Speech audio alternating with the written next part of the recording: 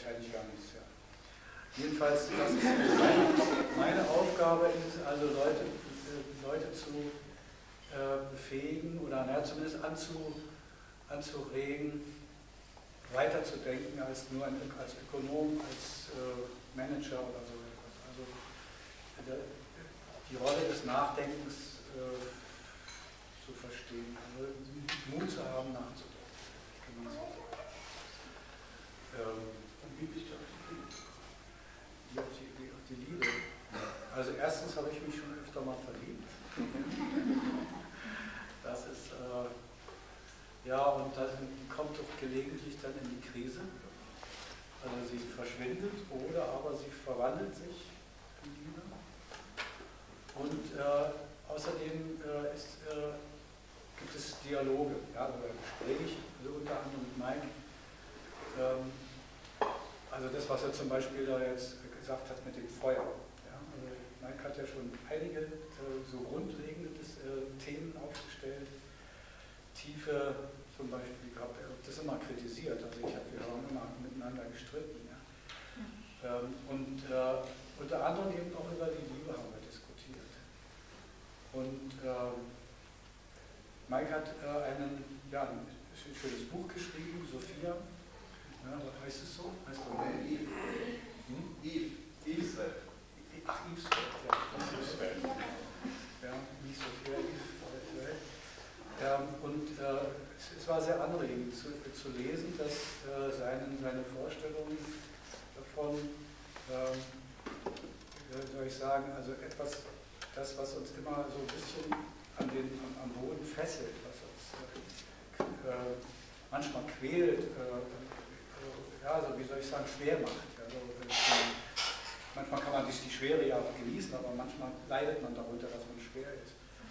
Dass man das äh, überwindet und äh, den, den, Gedanken an Liebe sozusagen etwas, etwas Leichtes, äh, etwas Legeres, etwas äh, nimmt, was vielleicht äh, lichter ist. Ja, also erstmal mit Heidegger gesprochen, etwas, was in, das, in die Lichtung gehört.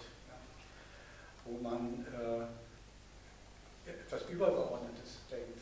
Ja, also wo man sagt, na, Liebe ist vielleicht nicht nur die, die Verbindlichkeit oder nicht nur die Verantwortung oder die, die, die Bilateralität oder, ja, oder überhaupt das Laterale. Und äh, Liebe ist vielleicht noch nicht mal nur, dass wir uns drin befinden in einem Euphorium, also einem Raum, in dem ja, einem Raum sind, wo wo, wo lauter Glück ist. Ja, also das, ja, sondern das ist vielleicht ein Überbau. Nö. Noch nicht. Ja, aber, also, aber man hat, ja, um es mal ein bisschen äh, aufzugreifen, ja, also wenn man, also ich habe die Erfahrung gemacht, wenn ich ein Mädchen oder eine junge Frau oder Frau irgendwie ein bisschen beeindrucken wollte, dann habe ich, dann habe ich gesagt, Liebe ist, das, äh, ist die Schaffung eines bilateralen Euphoriums. Das war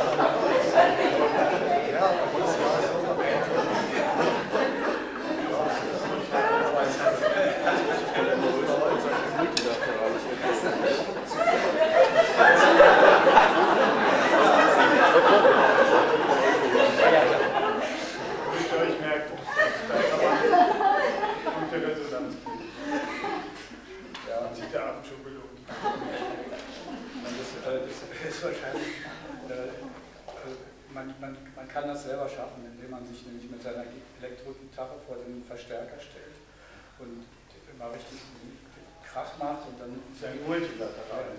Ja, genau. Wenn man dann die Gitarre vor dem Verstärker hält und dann fängt das Ding an zu, zu, zu quietschen und so weiter, verstärkt sich das auch ein bilaterales Euphorium. Aber das ist dann aber noch nicht Liebe, sondern das ist eher Narzissmus. Ja, und äh, ja, aber die Frage ist, also das, was Mike natürlich nahegelegt hat in diesem Buch, ist, dass wir darüber reden. Also dass es nicht so etwas ist. Ja, dass es unterschiedliche Herangehensweisen gibt. Über was denn? Über den bilateralen Euphorien? Zum Beispiel, aber auch über, die, über das, was man so Begeisterung nennen kann. Oder was man eben verbindet. Du bist ein Transzendenz. Genau, zum Beispiel. Also ja, so einer. Ja, naja, also Also zum. Wir hatten ja vorhin, wir haben uns ganz kurz vorher unterhalten, so zwei Minuten vorher. Und da ist mir spontan ein Bild. Ich war so froh, dass er gekommen ist. Ja. ist mir spontan ein Bild äh, in den Kopf gekommen als quasi Einstieg für uns heute. Ähm, die, Fra die, Frage, also was ist denn, was ist denn Liebe? Sollen wir jetzt definieren, was das ist? Können wir das? Und meine spontane Reaktion war, äh, mich an ein Gespräch gestern mit einer Theologin zu erinnern, einer katholischen Theologin. Ähm, und das war ein bisschen, ähm, ja, ich fühlte mich wie ein Ketzer. Äh, und dann habe ich gesagt, naja, weißt du, der, äh, der Unterschied zwischen der Philosophie und der Theologie besteht darin, dass der Theologe ja auch ähnliche und auch gründliche Fragen stellt und dann bis zum Ende fragt und so weiter, also ganz weit fragt und nicht ganz, ja, nicht ganz aber, aber am Ende ist er doch resignativ. Ja, und der, also weil er sagt, mir reicht es an dem Punkt, da will ich nicht mehr, muss ich nicht mehr wissen, da kann ich glauben. Und der Philosoph kommt vielleicht auch zu dem Punkt, aber er ist unzufrieden. Er will, er, er, ihm reicht es nicht zu glauben, sondern er will wissen, er will vielleicht noch weiter eines der, der Unterschied zwischen Mystik, da ist das Dunkle, das, das muss man akzeptieren, und, das, das, Dunkle ist für den Philosophen nicht akzeptabel. Man will also aufklären, man will Licht reinmachen, man will mit der Taschenlampe das Dunkle leuchten. Und das ist bei der Liebe ja nicht an, bei unserem Gespräch. Ja, also die Liebe ist etwas Großes, etwas Un Unklares, etwas Großes, Geheimnisvolles, etwas Dunkles. Und wir sind jetzt, oder ich zumindest, bin jetzt der, der mit der Taschenlampe da hineinkommt. Das Problem an der Taschenlampe ist, dass die nicht so stark ist, dass alles gleichzeitig aufhält, sondern immer nur ganz bestimmte Punkte zu sehen sind. Das Biologische, das Chemische, Oxytocin, ja, dass man da also irgendwelche Hormone hat hier, also Bildungsverstärker sind, oder soziale Aspekte, vielleicht sogar Verbindlichkeiten, ja, dass man, wenn man dann Politik guckt oder ins Recht guckt, dann gibt es sozusagen die Ehe als Zugewinnsgemeinschaft. Ja, wo man dann überlegen muss, geht man diese Verbindlichkeiten ein. Ja, aber das ist sozusagen nicht, sozusagen, ist nicht klar. Es ist nicht klar. Ja? Sondern es wird, Liebe kann man nur punktuell definieren. Ja? Und die Frage ist, Entschuldigung, noch ein, ein Satz, das ist eine räumliche Metapher. Ich glaube, dass man mit einer räumlichen Metapher nicht klarkommt. Also dass es nicht ausreichend ist. Ich glaube, dass wenn man wirklich ran will, muss man eine andere Dimension haben. Zum Beispiel muss man über Resonanz nachdenken, über Prozesse nachdenken, über Bewegung nachdenken, ja, über Klang zum Beispiel. Also, also nicht sozusagen mit der Taschenlampe irgendwelche räumlichen Punkte ableuchten, sondern vielleicht aber auch noch alles irgendwie ein bisschen räumlich. Und trotzdem, ich suche jetzt mal Differenzen, damit es interessanter wird. Ja? Also erstmal, Mystik ist nicht unbedingt dunkel. Also das ist eine Färbung, die kann man der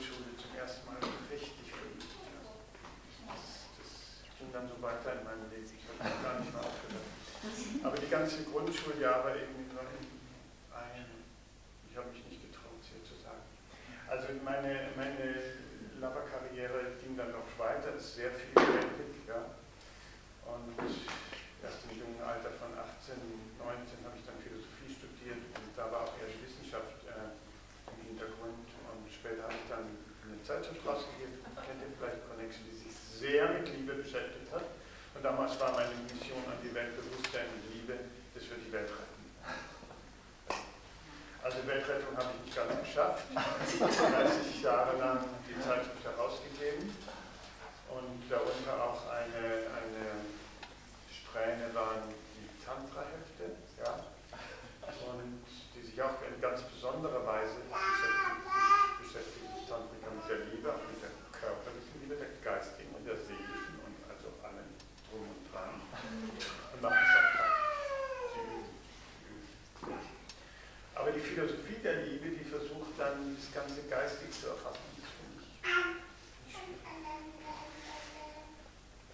Habe ja auch äh, gestern schon Definition von ähm, dem Hören selbst, dem Ego, gehört und das hat mich nicht glücklich gemacht. Also ich bin, ich muss mich erstmal outen als ein Freund des Egos. Also gehe ich ganz konform mit dem Mike, also Ego finde ich eine fabelhafte Kiste, ja. Richtig super gut. Und äh, ja, ich möchte es natürlich ähm, von Durchfluten lassen, ja klar, ein bisschen spirituell bin ich auch. Aber Ego-Bashing finde ich die schlimmste Unart, die die spirituelle Szene an sich hat. Ja. Auf dem eigenen Ego rumzukriegen und auf dem der anderen. Ganz üble Angewohnheit, ja. kann ich nicht dahinter stehen. Und äh, die Transzendenzsuche ist ja auch wieder sowas, da sucht man etwas, was fern ist und wo es ja eigentlich schon da ist, wo alle Leute sagen, ja auch, die Liebe lieber vor der eigenen Nase suchen, anstatt entfernen. Also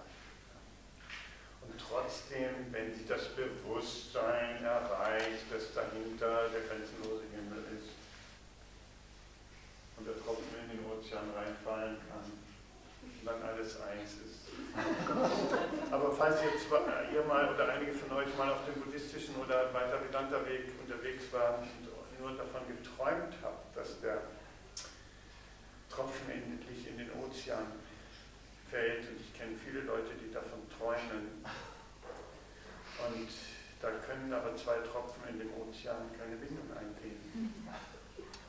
Das ist schlimmer als bei Nemo. Ja. Also im Niemandsland äh, kann man keine Zelte aufschlagen, Nestbau ist nicht möglich, da muss man wieder zur irdischen Liebe kommen. Ja, da muss man wieder Strukturen bilden. Dann gibt es auch rote Linien, hier rüber gehst du nicht, eine Definition. Und ja, es scheint vielleicht durch das unendliche, bedingungslose Liebe, aber Kinder zur Schule zu bringen, mit einem Partner ins Zimmer oder die Wohnung zu teilen und immer nur bedingungslos lieben.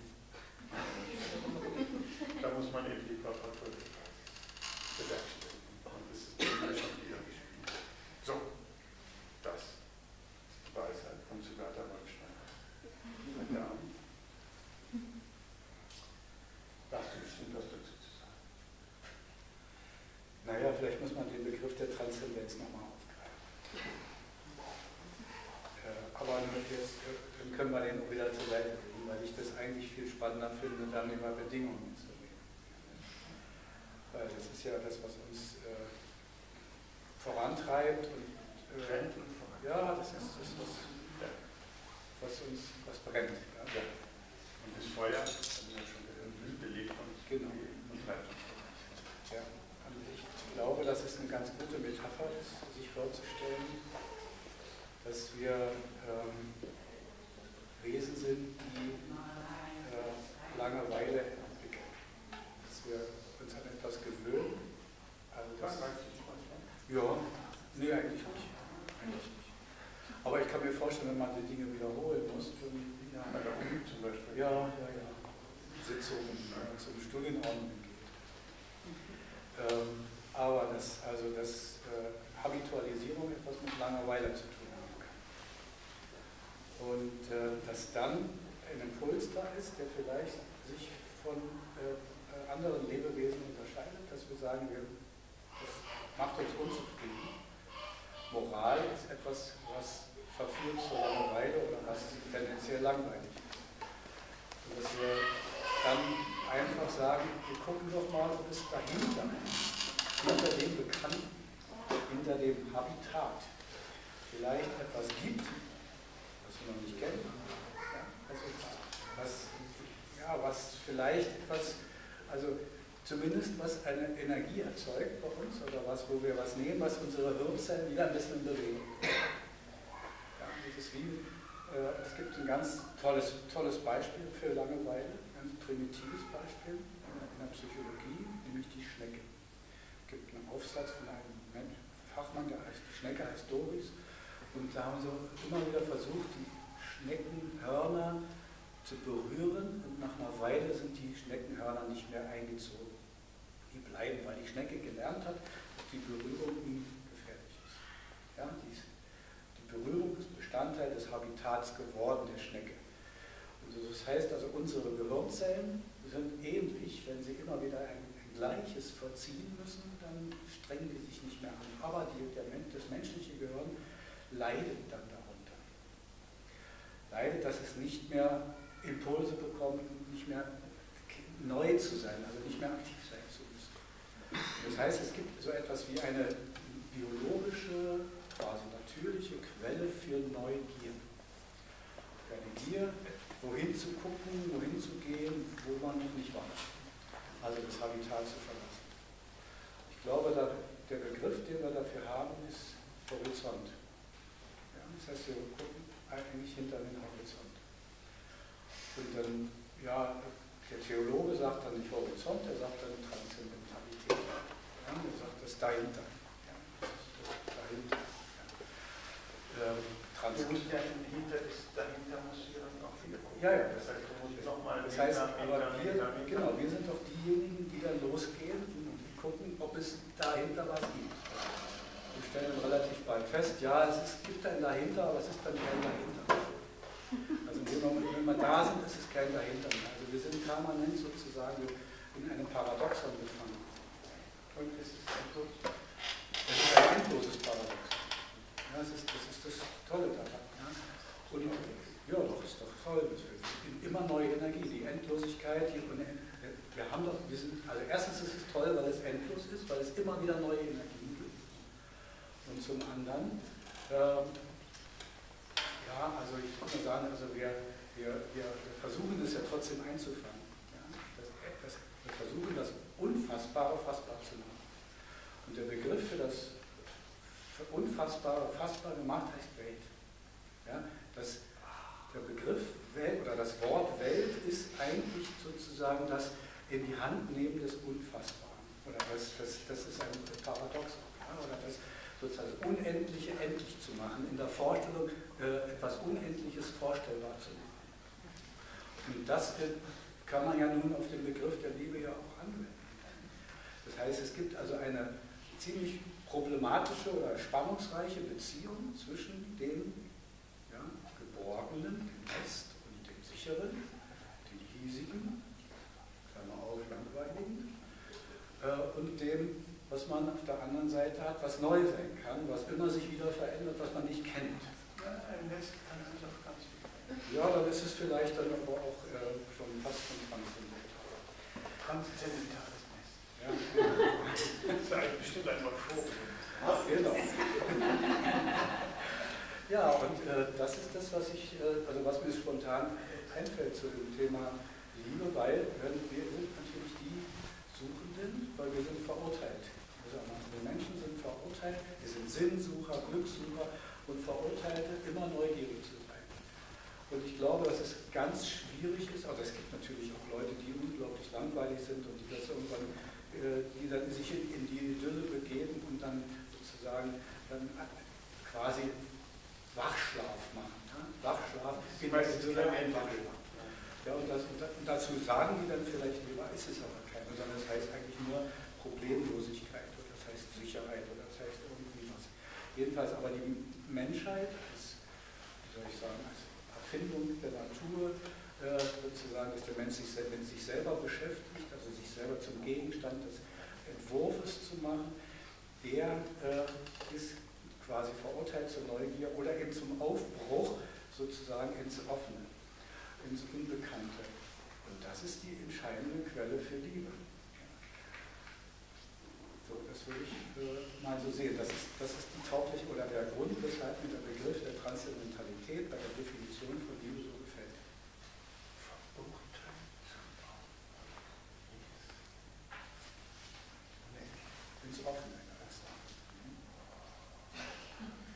nicht so gerne verurteilt, aber das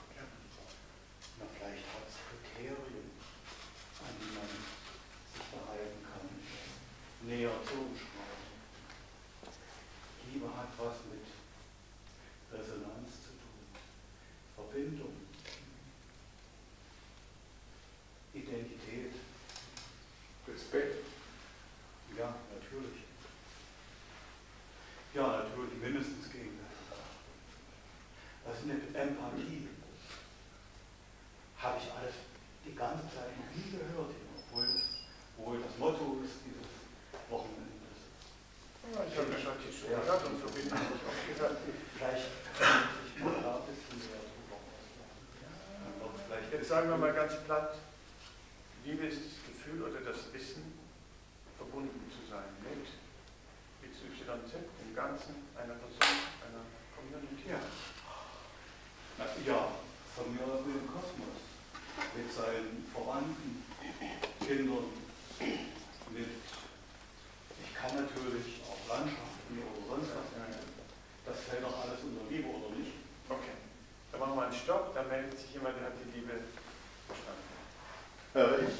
für mich war das, obwohl ich 70 bin, immer Schmetterlinge war.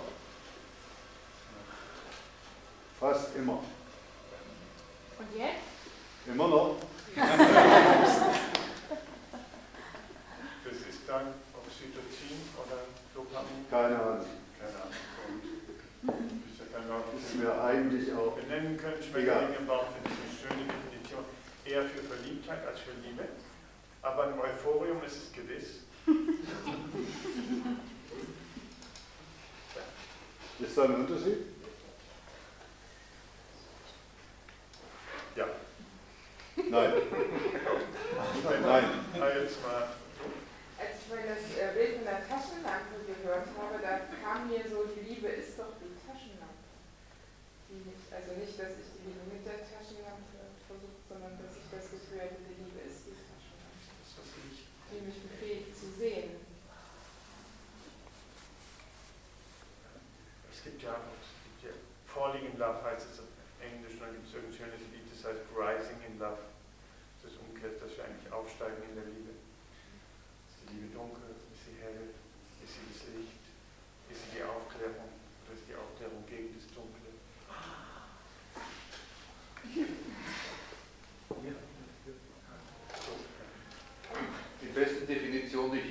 gehört habe und die für mein Leben auch stimmt, ist, Liebe ist die Freude am Dasein und So-Sein.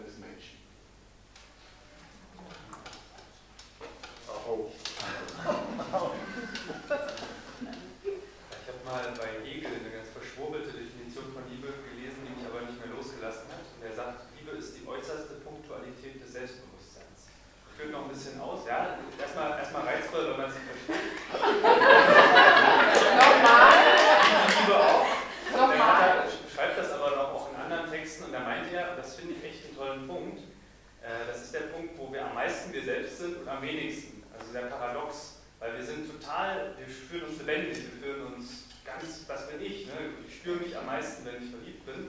Andererseits bin ich ja nur verliebt wegen etwas anderem, wegen einem Du, wegen einer Tätigkeit, wegen einem tollen Menschen oder so. Das heißt, ich bin auch nur durch ganz den anderen äh, und auch völlig verfallen und hin, hingegeben an den anderen. Und diese paradoxe Natur, vielleicht kann das nur die Liebe so stark in uns hervorheben und Kunst und weiß nicht was anderes noch, Fußball, so kann das nicht in dem haben über das punktualisierte, das äußerst punktualisierte Selbstbewusstsein. Weiterweise hinaus.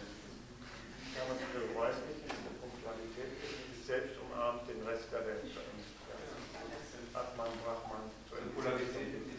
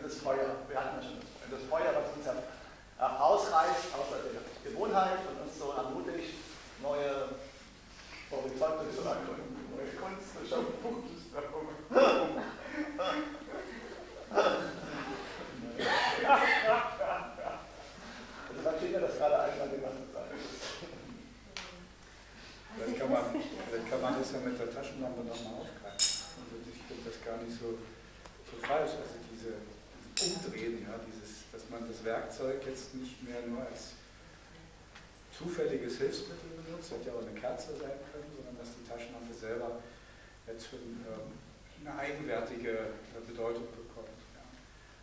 Und ähm, was kann dahinter also als Metapher verstanden gemeint sein, dass äh, die Liebe eben kein, kein, keine, kein Ergebnis ist oder kein Ding ist oder kein Zustand im Sinne von einer Struktur oder so, sondern Liebe ist eine Energie. Eine Energie, die, ähm, also die man dann äh, äh fühlt, die man dann äh, die man in sich hat, wo man dann aufgeregt ist, also Stichwort äh, Schmetterlinge und so weiter. Man ist also in Liebe, man ist gefallen oder meinetwegen aufgestiegen in Liebe, wenn dann diese Energie dann da ist, weil, dann nämlich, weil man dann in Spannung ist. Man, man muss also in Spannung sein. Ja, und das ist natürlich die große Kunst, besteht diese Spannung dann zu halten oder wie immer wieder zu erneuern. Ne? Und deswegen ist die Transzendentalität so wichtig und die Neugier, aber das ist ja ein anderes Thema. Aber entscheidend ist tatsächlich, dass wir diese Spannung schaffen, dass wir also in Spannung kommen. Und äh, die Frage ist, wodurch kommen wir in Spannung? Was haben wir selber für Voraussetzungen? Eine Disposition, wenn man so will, unsere eigenen Fähigkeiten dazu und was ist woanders auch dann da, was mich dann in Spannung versetzt. Ja, oder was, also es muss ja irgendwie dann so eine Art, äh, ja, es muss ja irgendwo und das ist für mich eine interessante Frage. Also was heißt Liebe ist spannend? Nein, doch. Gibt auch Sonata noch drei, zwei Damen und ein Herr, die haben auch Ja.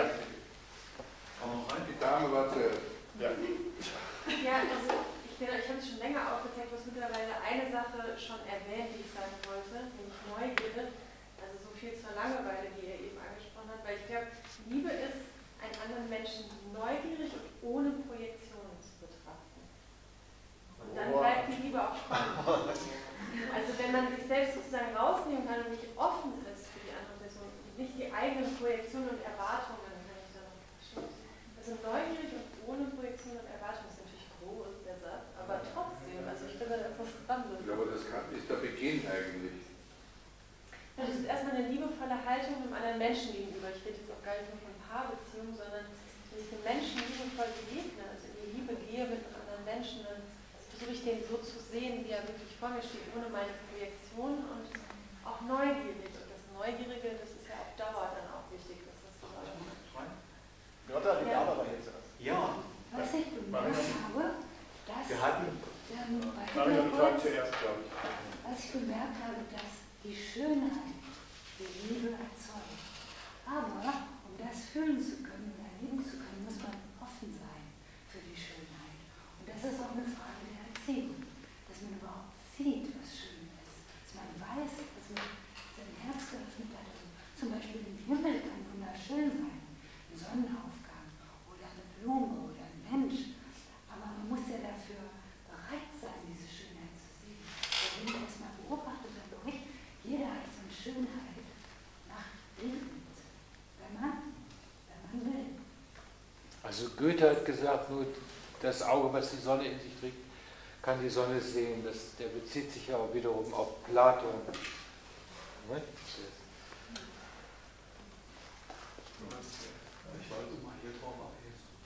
Ja, finde ich gut. Und ich würde vielleicht noch anmerken, ähm, auch äh, Bezug auf Energie, ähm, es hat ja was mit Identität zu tun, die man irgendwo im Gegenüber findet. Ich gehe also rum und ja, alles mögliche Leute und plötzlich bei irgendjemand anderes macht es Peng. Gell?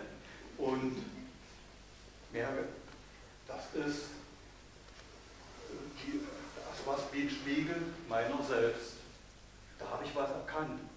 Und da habe ich natürlich auch die geringsten Probleme, das Gegenüber so zu erkennen, wie es selber ist. Es entspricht ja am nächsten meiner eigenen Identität.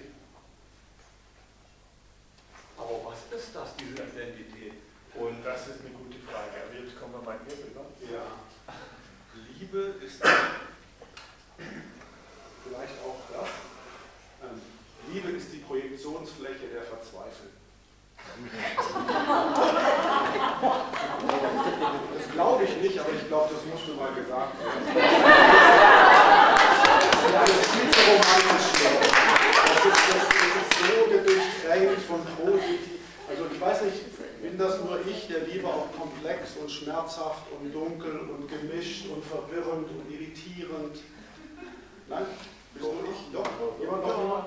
Ich wollte das nur mal einwerfen. Das ist mir zu, zu rosa. Spannend, ja. Und ich finde es aber auch entspannend. Ich finde es nicht nur dunkel, ich finde auch Licht, die Verzweiflung ist mit drin. Und ich versuche dann immer zu entscheiden, verschiedene Formen der Liebe, auch die Entwicklung der Liebe hin zur Bedingungslosigkeit, zum Transpersonalen. Aber für mich ist Liebe eben nicht nur das Transpersonale. Es ist formlos, strukturlos, unirdisch, nicht im Alltag lebbar. Und für mich ist dann die Verbindung zwischen dem Objekt und dem.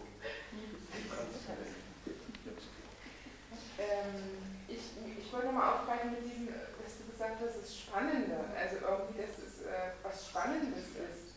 Und dann habe ich mir so gedacht, okay, es ist vielleicht reden wir uns zum Beispiel die ganze Zeit ein, also, also es, nee, es ist es, dass ich was erreichen, also es ist spannend für mich, wenn ich was erreichen könnte, was ich für unerreichbar glaube. Also dass die Liebe irgendwie von uns so in die Ferne gerutscht wird, weil wenn es dann doch mal schaffen könnte, also oder die Idee, dass es dann doch schaffen könnte, das ist so dieses. So wie die Erleuchtung, sowas, was dann immer. Ja, irgendwie dieses Gefühl. Ich drücke es absichtlich in der Ferne, weil es dann spannender wird. Oder weil wenn es mir dann wirklich zuteil wird, dann ist die Begeisterung, dieses Euphorium da.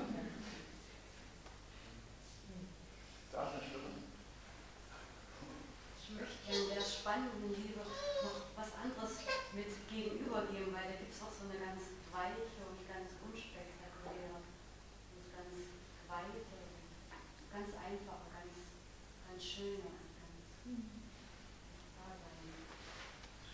Die möchte ich mit uns beschreiben.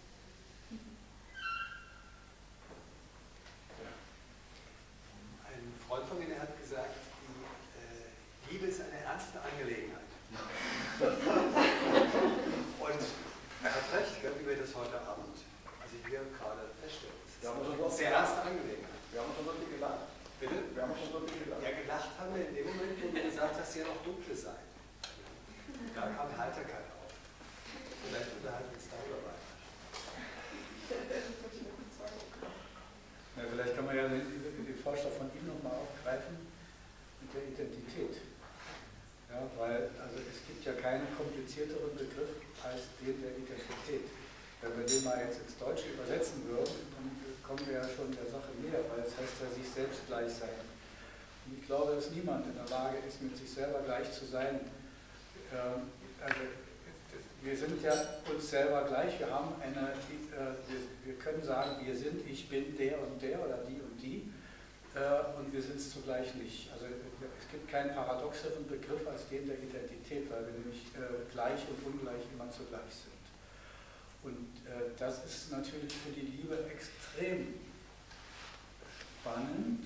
Es kann sehr, zu sehr großer Gelassenheit führen, äh, weil wenn man das erkannt hat, dann kann man sich vielleicht mal fallen lassen. Das ist sehr schön. Aber es ist auf der anderen Seite ist gerade das, was ich vorhin sagte mit der Paradoxie oder mit, dem, mit der Spannung, das ist ja, glaube ich, das, äh, was dann eben auch das ja, Zerrissene oder auch Schmerzliche mit generiert.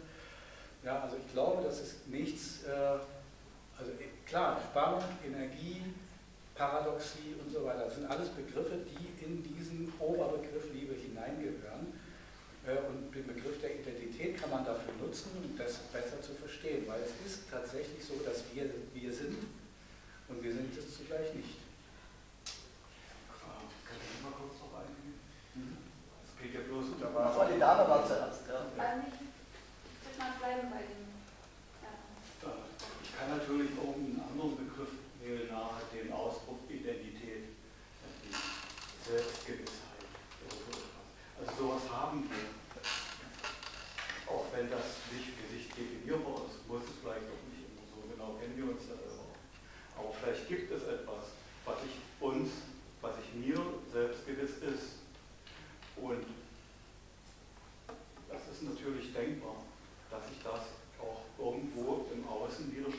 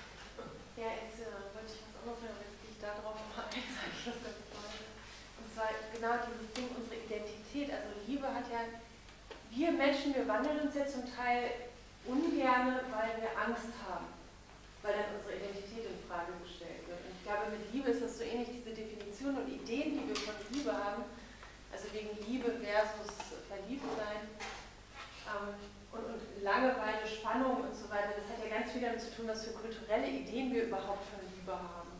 Und dass wir uns dann damit identifizieren und so viel Angst haben, das ab, abzulegen, weil es dann vielleicht keine Liebe mehr ist. Und dann, da, und dann in dem Moment gar kein Raum mehr da ist, Liebe nochmal anders zu definieren und zu sehen, weil wir ja interessanterweise hier gerade hauptsächlich über Paarliebe reden. Aber es gibt ja so viel mehr Formen von Liebe, deshalb fand ich deinen Beitrag gerade gut. Äh, da habe ich mich sehr drin gesehen. Also Liebe hat ganz oft auch diesen Aspekt. Wunderschön, ruhig, sanft, schwierig, sehr schmerzhaft, dunkel, aber eben nicht nur spannungsgeladen und es ist dann gar nicht negativ, dass es nicht spannungsgeladen ist. Ne? Ich würde da Kategorie, ich dachte, du bringst das jetzt. Du hast ja erst den Workshop mit dem Transpersonalen gemacht. Und ich finde, du hast gerade einen kategorialen Fehler gemacht, sogar da, indem du Transpersonal mit Transzendenz gleichgesetzt hast. Du hast gesagt, das Transpersonale ist irgendwo die Flucht aus dem Personalen, aber jetzt im wörtlichen Sinne, und wenn Philosophie die Kunst der Begriffe ist, finde ich gerade das Transpersonale eigentlich genau das Geile, was Platon sagte. Die Liebe verbindet uns Menschen, das Personale mit den Göttern, mit der Transzendenz. Und dieses Feuer entsteht genau daraus, dass wir ganz wir sind und ganz alles. Und das ist, glaube ich, man kann es, denke ich, wirklich transpersonal nennen, wenn man klar ist, ich meine es nicht transzendent, nicht die Flucht, sondern ich meine genau diese wunderbare Gleichzeitigkeit, ganz ich zu sein und ganz der andere des Universums. Und aus dieser Spannung, wie gesagt, meinte Platon, entsteht dieses Feuer der Schönheit, die Lust. Und die Freude. Und die Freude. Was auf dem Karussell Und die Freude. Oder? Ja, das kann man ja wirklich Ja, schon das, das geht ja noch weiter. Es ist gar nicht nur das Transpersonale und das Ich-Sein, sondern sogar, jetzt haben wir da ja eine kleine, eine kleine Forschung gerade betrieben. in Ja, das kam raus. Mit, mit den Erfahrungen, du bist zu früh raus, Ja, ne? ich ich muss raus. Teil gar nicht mitgekriegt. Nee, das sage ich ja. Aber ähm, das Spannende war nämlich, dass wir ja mit den Transpersonalen Liebeserfahrungen gearbeitet haben, die fast immer mit Erfahrungen, die in Verbindung zu anderen Menschen waren, zu tun hatten. Du hast es doch so schön zusammengefasst am Ende, du kannst es gleich nochmal sagen.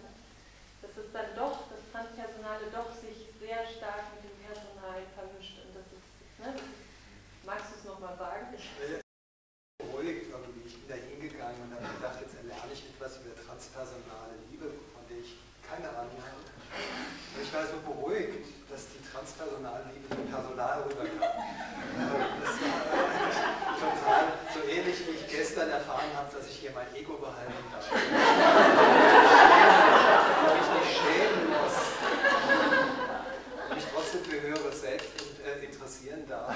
Äh, Und wenn ich es nicht erreiche, dann fliege ich nicht raus. Das fand ich alles sehr, sehr beruhigend. Jetzt hast du ja das eben ähnlich gerade auch. Ja, geschehen.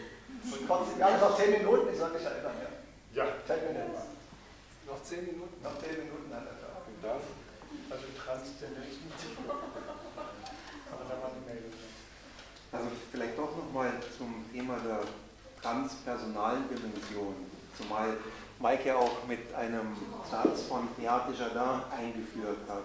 Und wir haben ja gesehen, die Liebe hat ja verschiedene Facetten, aber Beats Begriff, Beats Begriff der Liebe ist der Omega-Punkt. Er visualisiert die Liebe und identifiziert sie mit dem Göttlichen. Er sagt, der Omega-Punkt ist die Liebe und die Evolution, der prägt da einen sehr spannenden Begriff dazu, geht auf diesen Omega-Punkt hin und er nennt diesen Prozess der Evolution Amorisation. Amorisation ist ein Begriff von Beate Jardin, den er für die Evolution nimmt, hin Omega-Punkt, ähm, auf den die gesamte Evolution ausgerichtet ist. Und der Omega-Punkt ist, da gibt es eine eigene Theologie der Liebe, eine eigene Enzyklika sogar, ist gleichzeitig wieder der Alpha-Punkt. Alpha ist Omega. Ursprung und Endpunkt wäre sozusagen die Liebe. Ähm, also um Theats Begriff. Und er nimmt dafür auch die Metapher der Sonne. Nicht umsonst ja auch bei Platon. Die Sonne. Also mit anderen Worten, wir funzeln nicht nur mit unserer kleinen Taschenlampe irgendwie in die Dunkelheit, sondern vielleicht in diese Supersonne. Ja, das vielleicht noch als ein Aspekt. Darf ich nochmal schnell zu Begriff rein, in die Runde schmeißen? Der schon wieder untergegangen ist. Empathie. Ja. Mitgefühl. Verschmelzung möchte ich auch noch einbringen. Sprachlosigkeit. Diffundieren in das große Ganze oder in den anderen, in das Du hinein. Hat es Grenzen, hat es keine? Wie weit gehe ich da? Wie weit ergieße ich mich? Halte ich mich zurück? Wo bleibt mein Ich? Ja, und, und über das Körperliche, ne? also das, das vermischt sich total. Also wir haben ja festgestellt, dass transpersonale Liebeserfahrungen sich auswirken in unserem Körper, dass wir die spüren, ganz physisch. Und umgekehrt, dass physische Erfahrungen, Umarmung, Liebe, Sexualität auch transpersonale Erfahrungen hervorrufen können. Das ist ja auch so interessant dass das ganze Personale, die materialistische Existenz eben das Transpersonale auslöst, die Bedingungen dafür sein kann und umgekehrt. Ja, das Transpersonale scheint durch das Personale durch. Der Hintergrund ist das Leuchten, das Durchschauen, bei manchen Uber ist ein Du, ist es auch schon da. Da ist das Du da als Personal und trotzdem ist es auch Transpersonal. Ich würde gerne noch einen Begriff nochmal, oder nicht nochmal, also einen Begriff reinwerfen, zusätzlich zu dem der Empathie, äh, die wahrscheinlich, also vorhin indirekt ja auch schon mal genannt ist, also mit Resonanz, äh, glaube ich, ist, ist, äh, ist ja sehr verwandt mit der Empathie. Aber das, was ich favorisiere, also in den Mittelpunkt drücke oder besonders wichtig finde, ist, ist eben nicht das, was sie sagt, also die Ruhe, die Gelassenheit, die sich sozusagen äh, tief Luft holen und sagen, ja, also dieses reine Affirmative, das ist das total Affirmative, das finde ich, kann ein Augenblick sein, aber er ist ausgesprochen trügerisch. Ich finde, äh, es ist wichtiger, äh, ich finde es wichtiger, einen anderen Begriff in den Mittelpunkt zu rücken äh, für den Begriff des Zweifels. Also eine Liebe ist dann, wenn wir uns befähigen zu zweifeln. Nicht zu verzweifeln, sondern zu zweifeln. Und also, der, also Spannung zu haben, Energie zu produzieren und so weiter und zu zweifeln. Und diese Zweifel zu erhalten und daraus etwas zu machen. Das ist, glaube ich, der Unterschied zwischen dem, was sie sagt, Verliebtheit, da zweifelt man nicht. Sondern äh, wenn man, wenn man liebt, zweifelt man an sich und an anderen und an, oder an den Zuständen und so weiter, also darauf, worauf man sich. Und dieses ist jetzt nicht der Punkt, wo man sagt, alles scheiße, ja, oder halt, lass es alles bloß sein, sondern im Gegenteil, sondern zu sagen, ja, der Zweifel ist eine große Qualität. Es tut zwar weh, aber es ist die Qualität, um die es geht. Weil die nämlich mich bestätigt. Zweifel bestätigt mich. Ja, das ist das klar. Und, und wenn, ich nicht, wenn ich nicht zweifeln würde, dann wäre ich irgendwann ganz toll arschlos langweilig. Und das ist genau das Gegenteil von Liebe.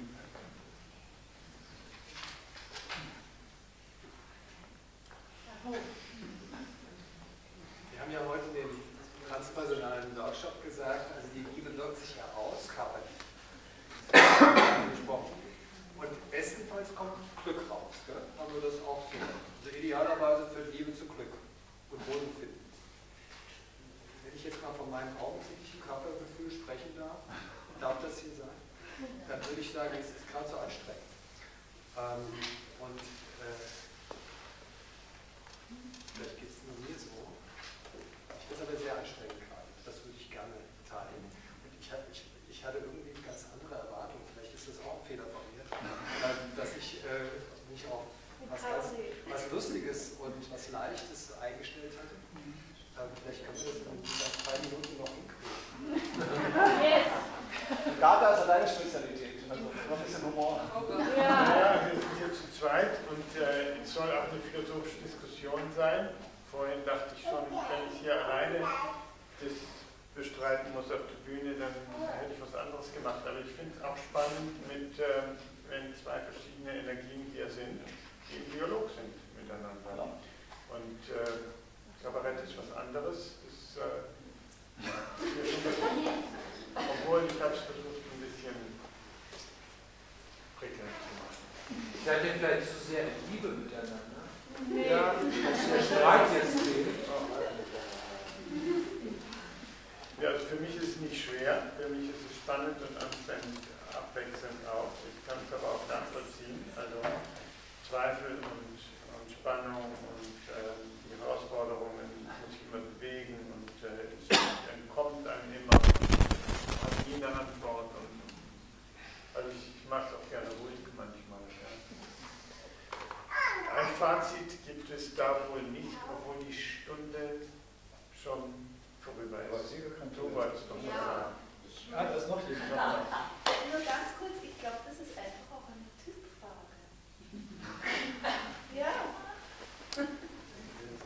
Na, ob du eher so mehr der zweifelnde Typ bist oder eher mehr die Erfüllung der Ruhe suchst, das sind die Menschen auch unterschiedlich.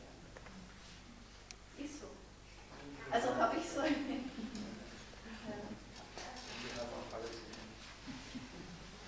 Ja. Der, der Enkerhard in mir.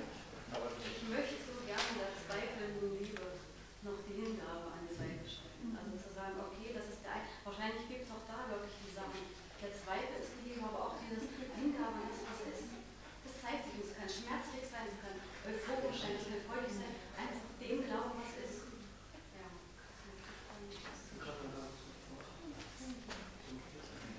Unterstützen. Klar. Es ist bloß leider nur, nicht leider, es ist Quatsch nicht, es ist, es ist äh, ähm, ich glaube, dass wir, wenn man diesen Begriff oder dieses Wort, muss ja gar nicht theoretisch sein, wenn man dieses Wort nimmt, dass dieses Wort in, äh, reichhaltig und wahrhaftig ist, wenn es, äh, wenn es die, in, in sich die Gegensätze aufnimmt. Das ist der Punkt. Ihr seht ja schon, es kündigt sich schon der Übergang an zu der Glücklichen. Ja. Also es wird genau das passieren, was du schon angekündigt hast. Wir jetzt alle die Kunst des Zweifels